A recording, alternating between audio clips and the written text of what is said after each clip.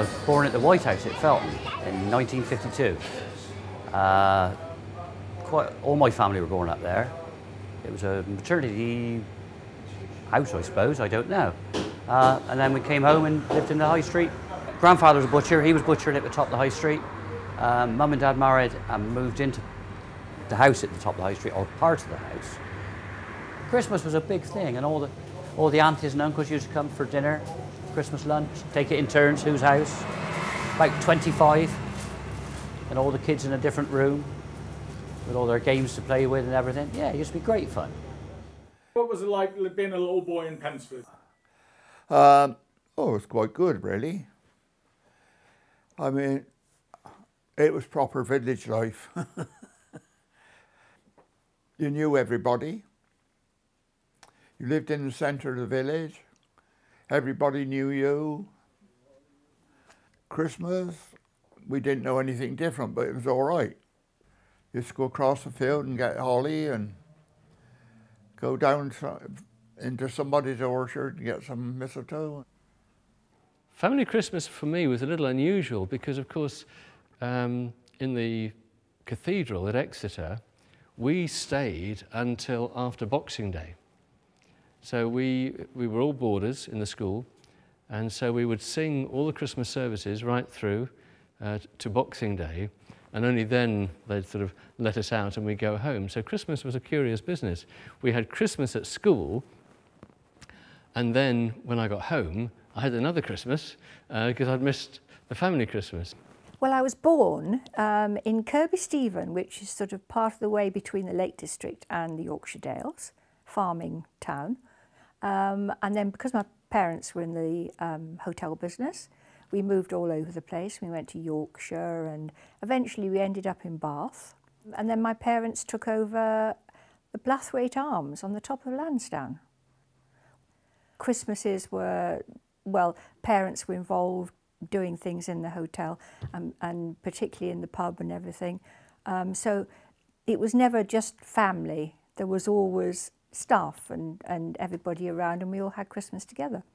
I grew up in Oldlands Common and spent the first 19 years of my life on a farm. Christmas was a really magical time for us. We only got presents at Christmas or on our birthdays. And one, one year was really exciting. The three, my brother, sister, myself had a tape recorder between the three of us. That was my most exciting Christmas I can remember. I grew up in Nepal, uh, Kathmandu, which is the capital city of Nepal. When I was a child, we didn't have Christmas as such, but it we did have an idea about Christmas. So we knew about 25th of December.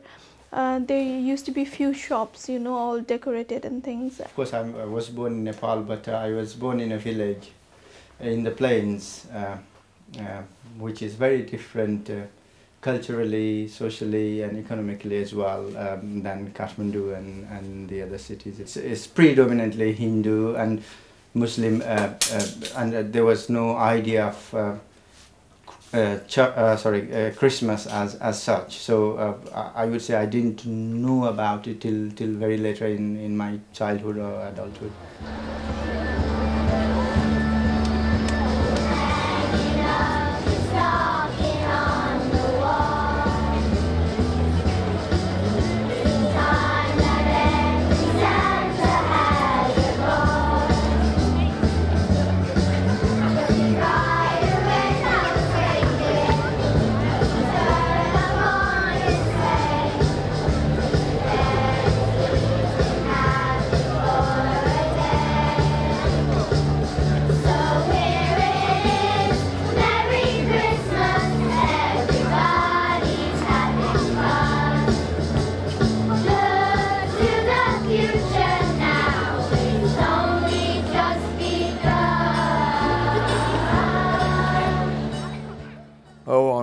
Christmas um, Eve, you'd have a stocking either by the bed or the chair or hang it up by the fireplace.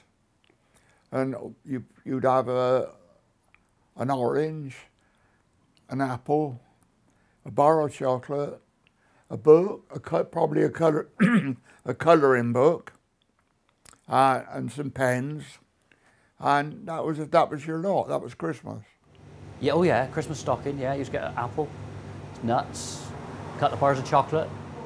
You to think it was ma- magic in heaven. Stocking, again, back to school, because uh, this is my memory. I don't remember, funnily enough, as a younger child, but before the age of seven, having a stocking. We, I'm sure we did, but certainly at school they made quite a thing of the stockings. And what used to happen was that all the members of staff in the school would contribute something to each of the 20 choristers, and that would go into your school sock, and they were quite generously long school socks in those days. And uh, so you had a, a stocking absolutely stuffed full of very sensible and practical goodies, including a tangerine. I never quite understood why we had a tangerine, but there we are. We would get up early in the morning, my brother and I, and, and we'd have stockings. We always had stockings. And then we always had uh, presents under the tree a bit later, um, depending what parents were doing, really. Um, yes, and then we'd always, we'd always have a late lunch because, again, work. Um, and then we'd, we'd always take the dog out. My father um, grew turkeys for Christmas lunches. As soon as we finished school, we had to go out into the dairy for the week before Christmas and pluck turkeys so that my dad could deliver them on Christmas Eve. Um, that's my main recollection of Christmas and turkey feet soup, which also included giblets. Nobody wanted the feet of their turkeys. So we had turkey feet soup for Christmas, which is delightful if you ever get the chance to try it. In the cathedral, we did have a proper Christmas dinner after we'd sung all the services on Christmas Day. And it was particularly special because we were given a glass of cider. Can you imagine an eight-year-old drinking cider? But there we are. That was that's the way it was back then in 1961 or 62.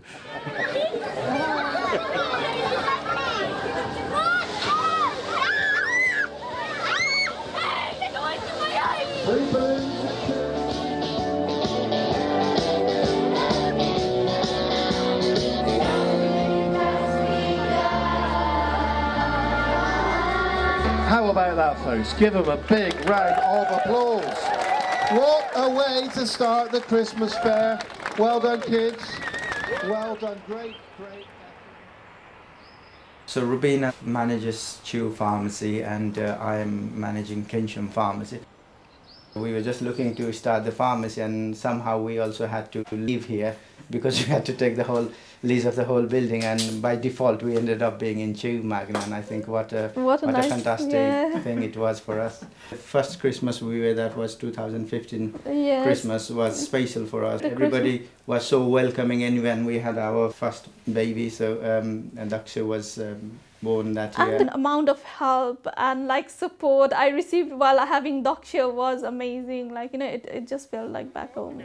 We've got two Santas giving you details of those outside the old schoolroom. If you want to run tomorrow, okay, you can still do it. Only a pound each, are they? Yeah, do you go and get them? It's well over ooh, 30 years now since we came here, and um, I was heavily into Christmas. So I'd always have a whopping great big tree, and we had a roaring log fire, even if it was warm. And, um, and everything was decorated with holly and, and ivy and things. It feels really Christmassy here, which you don't always get in lots of places. It's not, um, it's not garish Christmas, and that's how I remember my Christmases being. We didn't have very many presents, um, but we always had a tree, and s- it was a very simple Christmas, but really lovely. And that's the same feel when you're working here. Uh, before we came to Chew Magna, we were living in Bath, and I'd just done uh, three and a half, just under four years uh, work at Bath Abbey, uh, where, of course, Christmas was a big thing. Um, for the Abbey. Loads of carol services. I think The average was 21 carol services, which we split between the three members of staff. It's all very big and grand in a, in a vast place like the Abbey, but there is something a little bit more intimate and, and special and involved in a, in a place like this. The first time I left Pensford was when I got married to Di and come over here in 65. Well, I met Di. This was to do with Christmas, basically. I joined the, the Scouts at Stanton Drew. Dr. Hughes and his wife, who lived in Chew, they ran a group called the GTC, Girls Training Corps. One Christmas, she had a party for the girls down at the church hall, and the scouts were invited. But that's the first time I ever set eyes on her, yeah.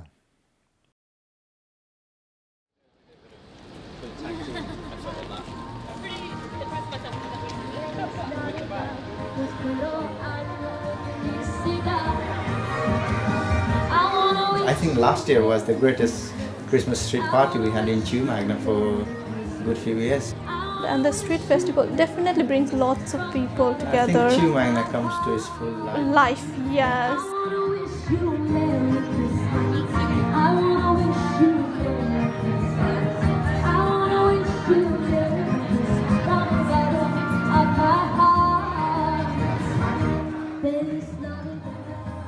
I thought it had a meaning, but when I have here now, I feel it's much more meaningful. He learns all these like Christmas plays and things, and he comes and tell us about like you know how the Jesus was born. After having him, I enjoy more Christmas. It's fun, he's cute, so I feel like I'm going back to the childhood as well.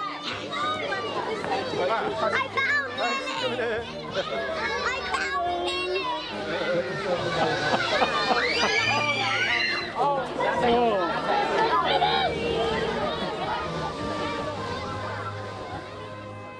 The Chew Magna Society are brilliant and the tree that they put up and the lights that they do and we, we, we still try and help them by decorating the railings, Charlie and I and Shayla, because it just looks so nice and sort of cheers up the village.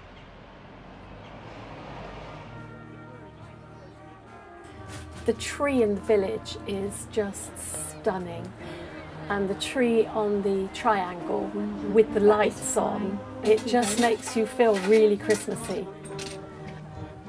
We have a massive Christmas tree outside, uh, the village Christmas tree, which like my son. Thinks that's our that's Christmas that's tree. his Christmas tree. like he has the biggest. That's his biggest show off during Christmas until New Year.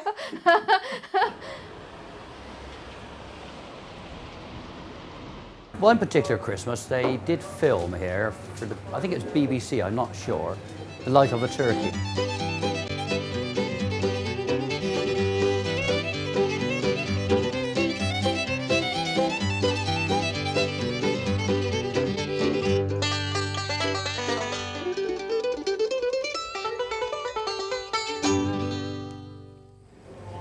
Was then shown on a Boxing Day. So that was quite something, being about 20 years of age, being on TV and it being shown on the, on the television the following day. I think my wife ordered a turkey, Boswell. Oh, yes, certainly, sir. All ready for you. Have I heard of the Irish turkey, he asks me. It was looking forward to Christmas. Yeah, that'll all right. Okay, Merry Christmas, Joel. Bye. Yeah, we generally try and get everything gone now the day before Christmas Eve if we can. But we do open Christmas Eve. But we're finding that a lot of people would rather finish their Christmas shopping the day before Christmas Eve. And then if Christmas Eve they got to themselves to prepare for Christmas. And if they have forgot something, we're open and they can still come and get it. But it, when we first started, you'd be here till six, seven o'clock at night on a Christmas Eve, still working, which was, it was good fun. You didn't know any different, but I wouldn't want to go back to that. At Christmas in here, we can be completely non-stop, not even managing a drink or our lunch, sometimes until three o'clock in the afternoon. It can be quite tiring for us.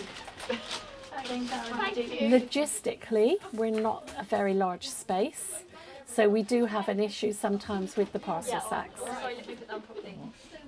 If we're not moving very much during the Christmas time, it's usually because we physically can't move, because we have to stack the parcels around us. I always knew Christmas was coming when I walked into the co-op and uh, people would say to me, your busy time coming up, Vicar, uh, as if Easter was a kind of breeze, but you know, I know what they meant. And do you have that uh, medication ready or not? You may not. Christmas month is definitely recognized as the most busy time for community pharmacies. Something happens and everybody wants uh, it sorted before Christmas.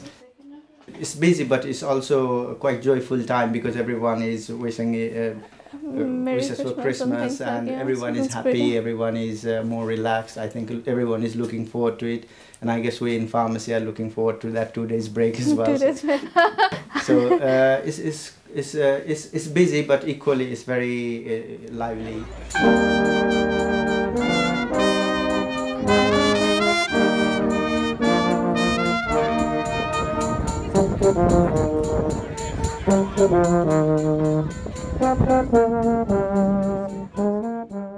I like Christmas atmosphere, like you know, especially like when it's cold, dark. I love that. When I first came here, I was in Nepal right after Christmas, and I felt so like you know lost and sad. I think I felt a bit dark, like you know I missed out something. So I think it's an atmosphere. I, th- I, th- I think we need that to survive the winter months. Al- Definitely. And also like you know everybody seems happier.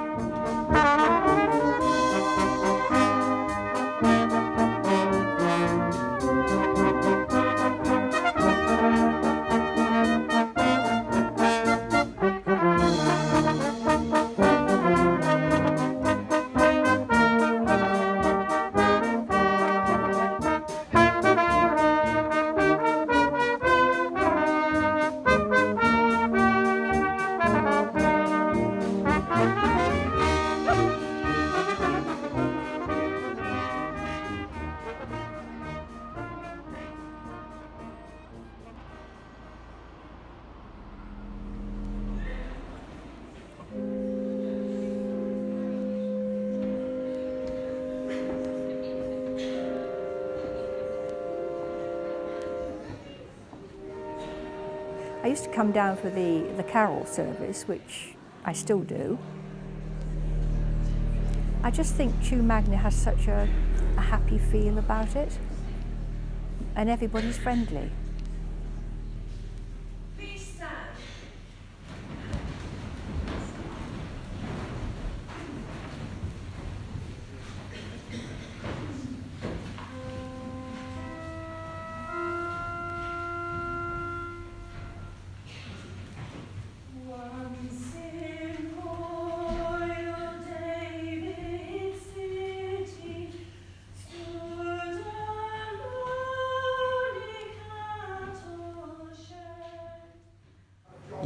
Yeah, sang in the choir. Yeah, all, of us used to sing in the choir. Start off up by the organist until you sort of, so say, qualified to sing with the choir and walk down the aisle and sit in the altar stalls. Yeah, so we were all in the choir. Yeah. They didn't keep me for too many years. I don't think I had the best of voices. Yeah.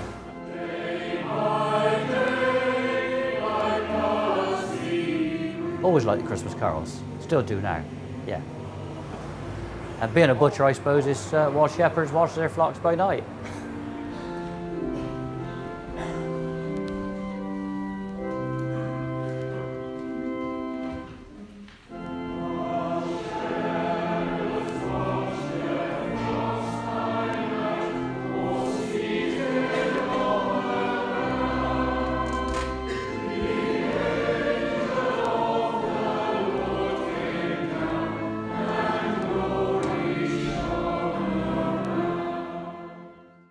Christmas is a bit like a process when you're a vicar.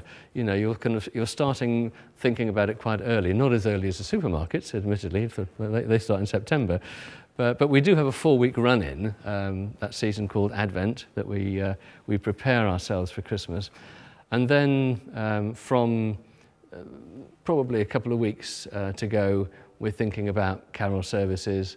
Um, and then Christmas Eve, uh, that's where you start to get a little bit of a tingle because there's the, uh, the crib service, which, which I always love. And we have a, a wonderful crib service down in the, in the baptistry area, right in front of the Christmas tree. Absolute mayhem with about 80 children, and it's just, just fabulous.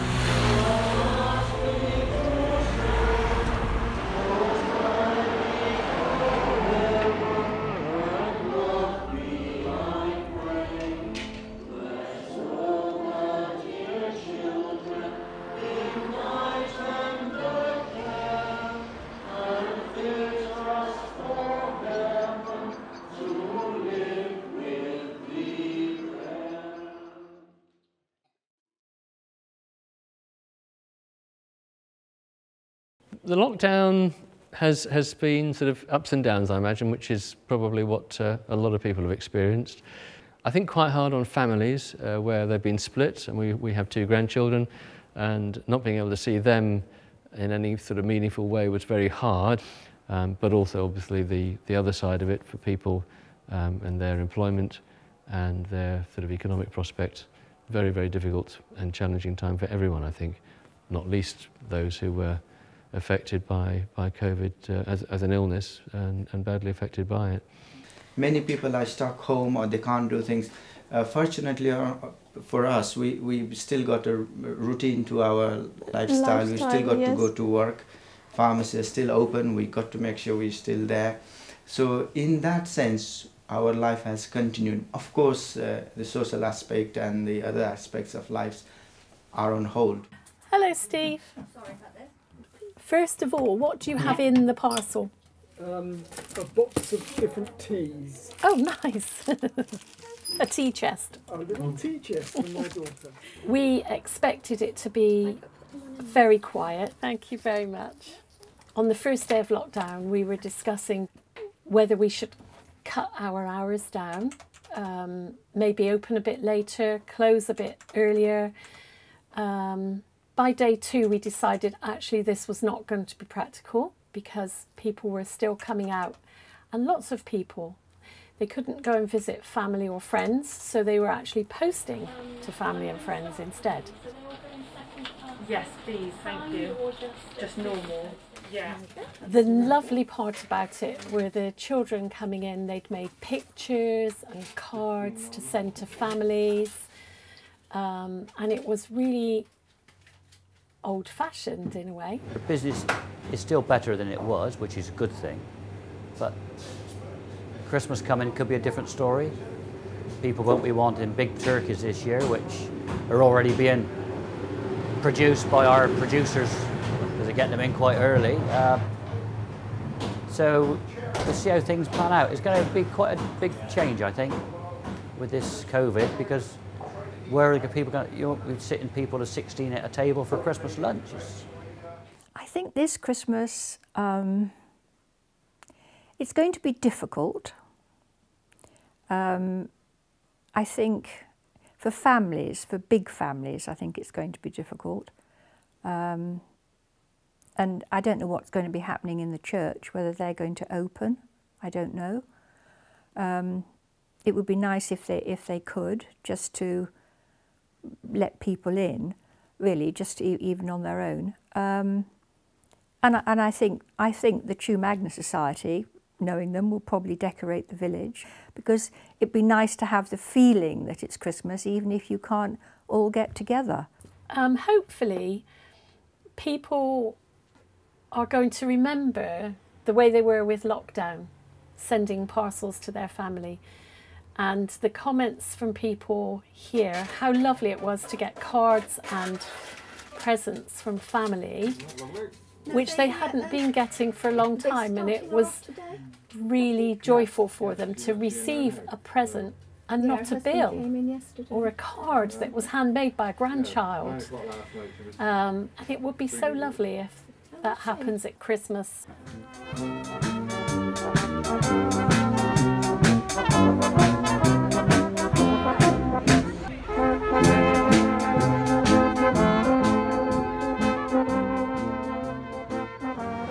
Christmas, I think, you know, is a fantastic time of year. Uh-huh. Everyone speaks Christmas Day and wishes you a Merry Christmas, which is something different to the rest of the days of the year.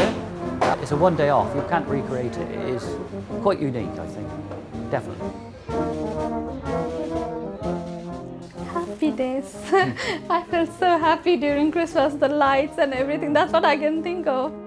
People are poorly, runny nose and everything, but happy to run around for like, you know, make, uh, put things together.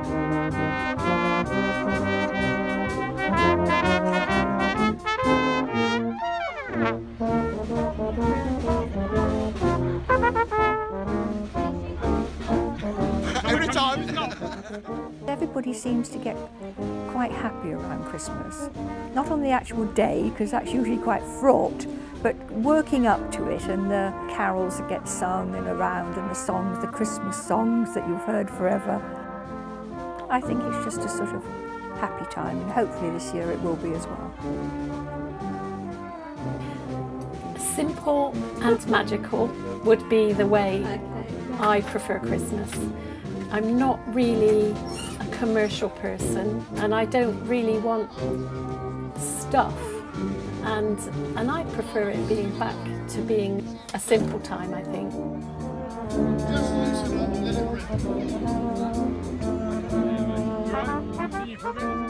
Well, I enjoy the lunch, the Christmas dinner, and the, the, just the general get-together when nobody puts the television on and you all chat between yourselves. That's when you find out more about people.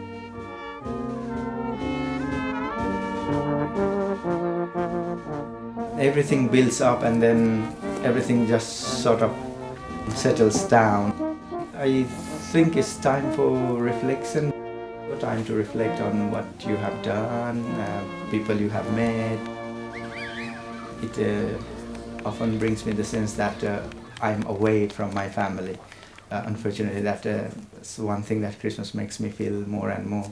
But hopefully we can, we can still recognise Christmas for what it is and, um, and enjoy it, even though, yes, some families are going to find it quite difficult, um, particularly if they can't meet together, and that's going to be hard.